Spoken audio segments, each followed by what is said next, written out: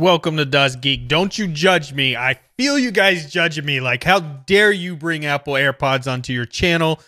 You're supposed to be an audiophile. You know better. Get that crap off of here. Well, listen, just calm down and hear me out because it's been two years since these little AirPods hit the market. And I have avoided them like the plague, like all of you told me to, like every respectable audiophile site said stay away. The sound is subpar at best. You're paying way too much money for these. But then I kept seeing the price drop and drop and drop, and I had to get a pair. Now I have both an Android device and an iPhone device. So I wanted to make sure I could connect this to both of these devices as well as my Linux desktop, which is running Arch right now. As an Arch user, I'm compelled to tell you that. And so I used the Avantree Bluetooth dongle here, which is a $30 Bluetooth dongle, by the way, but works beautiful. So this works amazing in Linux. It works amazing in Mac, uh, Windows, whatever operating system you want to use. It is a very versatile Bluetooth adapter. So I could try these on my desktop. So let you know, I've tried them across all the devices.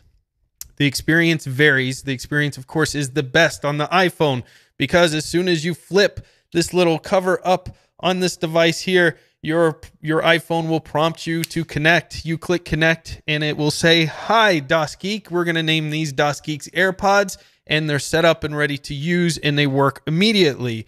For other devices, you're going to have to sync, hold the button on the Avantree, hold the button on the back of the case, and it will sync to the device. And then you pair it and set it up within your settings of your device, just like you normally would any other Bluetooth device. So obviously the experience if you have Apple products on this, being that it's an Apple product, is going to be better uh, than other products. But otherwise it works very similar.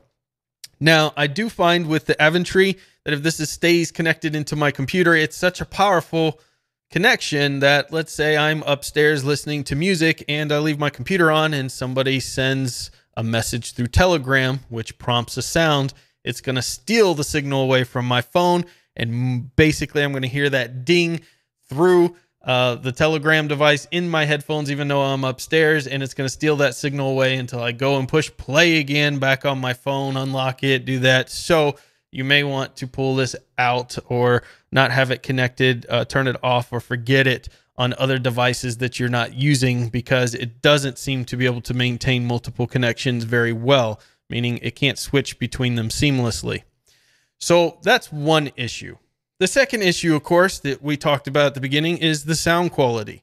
The sound quality of these devices, this device is very similar to what you would expect from a 20 to $30 pair of headphones, except you've just dropped 140 plus on these. So that's kind of disappointing. And for most people, you're like, that's enough. That's all I needed to hear. I'm out. But hold on because there's something to be said about convenience. And even as an audiophile, if I'm sitting there with some Jack Daniels, some single barrel Jack Daniels, a little bit of ice, maybe some Pepsi throwback, I'm relaxing, listening to a soundtrack.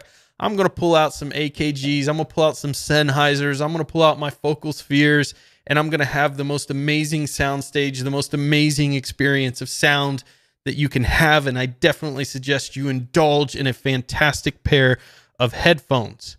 But there are times where convenience matters, such as you're out on the road, you're traveling, you're in the airport, uh, you need to take phone calls uh, as you're out and about. And these device, this device here, does this extraordinarily well. So where it doesn't excel at very well is being headphones.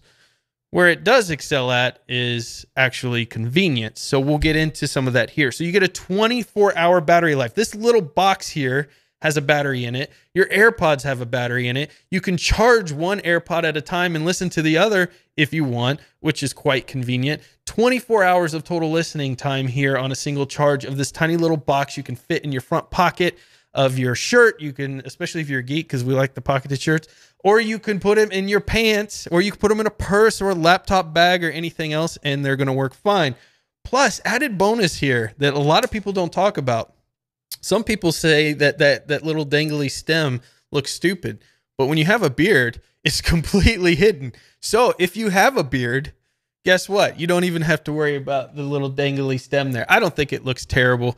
uh, but some people don't like it. I think anytime you have a bunch of blinking things in your ears, you're going to look stupid either way. Uh, the packaging, of course, is typical Apple packaging. Why are we talking about packaging? Because for some reason, some people care. But you do feel like you're getting a high quality product and you get the little sticky stuff to peel off too and a nice manual. And you feel like you've just spent a lot of money when you buy these, which is important to some people to feel special. And guess what? You did just spend a lot of money on something. So, because it's Apple and that's what they do. So why is this so convenient? Well, we talked about the small size. It's very well built, very solid. So you could drop this, you could drop these uh, AirPods on the ground, and I highly, highly doubt they would break. It would take a lot of effort to break these. Believe me, I've dropped it enough and attempted to try. So that's one area where it's very convenient. It's durable and it's small. The other thing that makes this very convenient is its range. This has some of the best range that I've ever found in a Bluetooth headset. I can leave my phone down here, go up to the second floor of my house, go to the clear other side of the house, and only have maybe a minor break or two as it's finding the signal and then plays perfectly fine. Other Bluetooth headsets, which by the way, they all suck in sound quality compared to a wired headset, go figure, at least in the range that I can afford. Um, the, all their sound is bad, but the range on these is absolutely fantastic. Best range that I've found in a Bluetooth headset to date. You could stick this in your locker, your phone in your locker, have these on you while you're out working out if you have, you know, a reasonably small gym and probably have a fantastic experience. So that is very convenient as well. They have nice little touch controls, but they're not all that useful and frankly, they're finicky, except every time that I try to record a video in which they work perfectly for some reason. I don't know what that is, but when I'm upstairs and I'm I'm not recording a video and I mess with these, sometimes the double tap works, sometimes it doesn't. So they could be a little finicky in that way.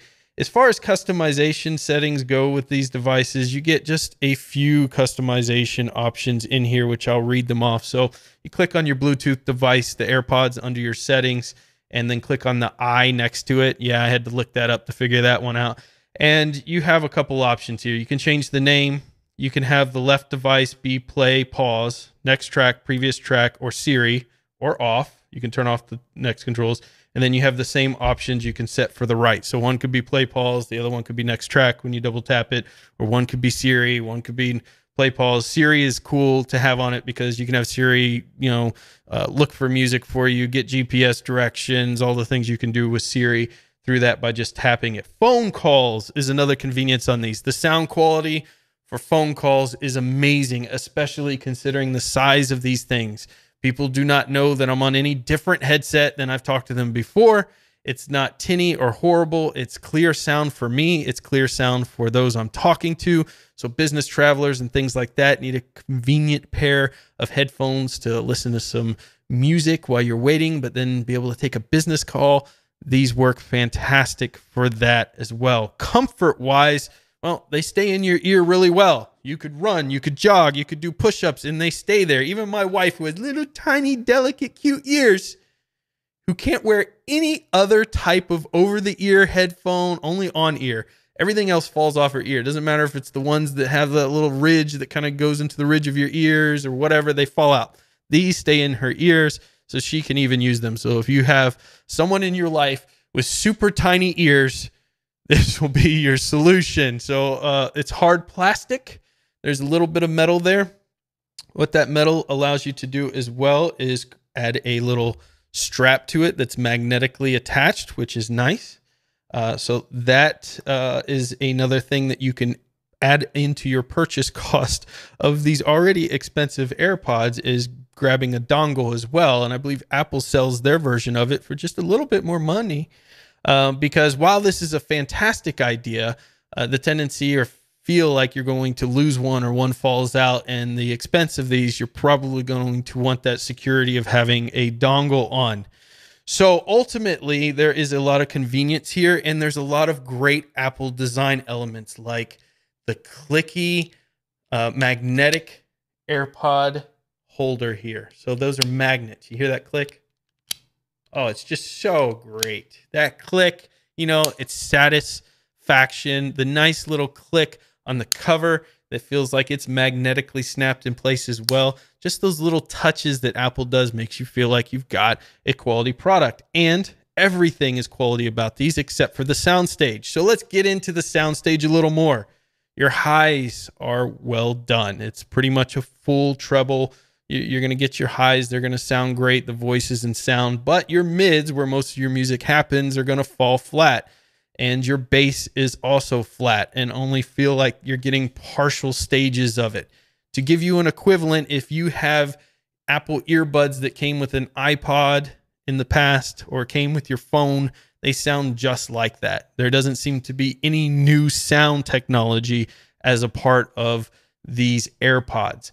So you're getting the same sound you're used to, which frankly, for most people, those were an upgrade because everyone else was sporting like before the uh, air the iPods came out, people were sporting the five dollar RCA headphones and things like that. So they thought the Apple ones sounded marvelous. Of course, if you try something like a Focal Sphear in ear headphone, it's going to change your life and you're going to realize how much of your music you've been missing. But these aren't for music right now. Maybe the AirPod 2s will be. These right now show off the ability of convenience and they do that very well.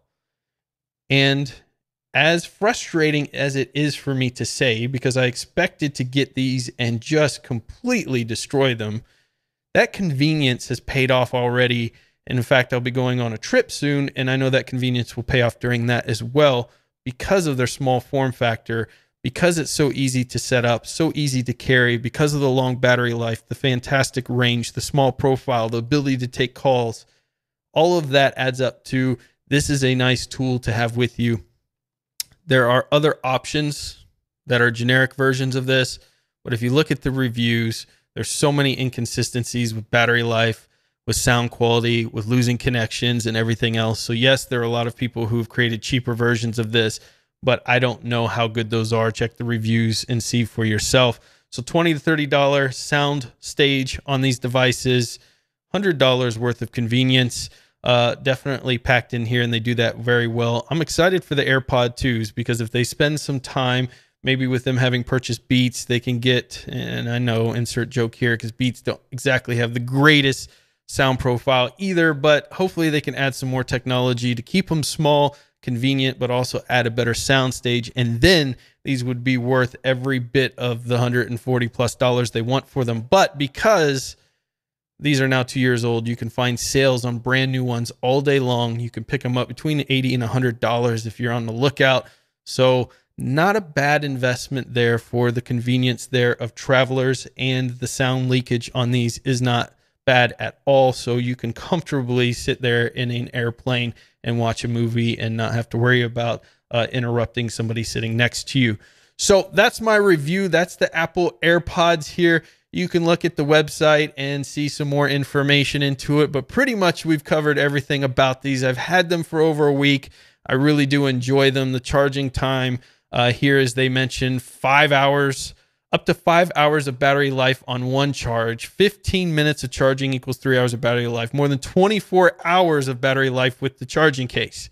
So that's amazing. You can buy extra stuff with them.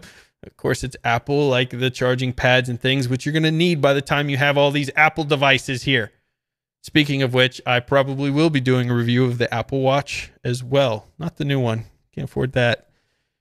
In any case, thank you for watching. Let me know in the comments below what you think. Will you be picking up a pair? Do you have a pair? Do you like the soundstage? Do you think it's amazing? And I'm all wrong. Let me know in the comments below. And until next time, get out there and fill your brains. Don't get too small.